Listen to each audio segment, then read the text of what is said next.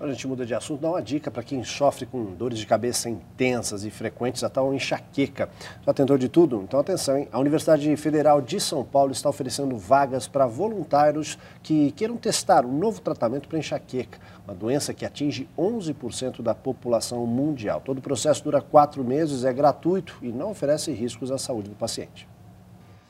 A Unifesp está estudando os efeitos terapêuticos do laser de baixa potência, o infravermelho de diodo e da toxina botulínica em pacientes que têm enxaqueca. A toxina, conhecida como Botox nas clínicas de estética, é usada com autorização da Anvisa há três anos para tratamento de dor de cabeça crônica. O laser ainda está em testes.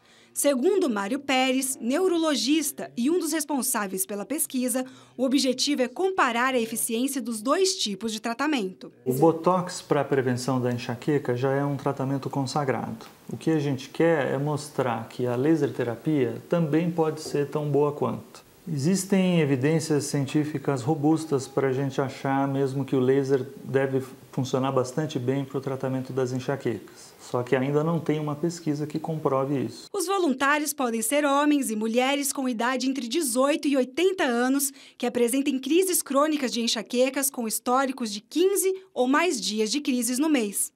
Eles serão acompanhados por uma equipe médica e terão que medir e anotar a frequência e a intensidade da dor. Quem tiver interesse em se candidatar pode preencher um cadastro no site cefaleias.com.br.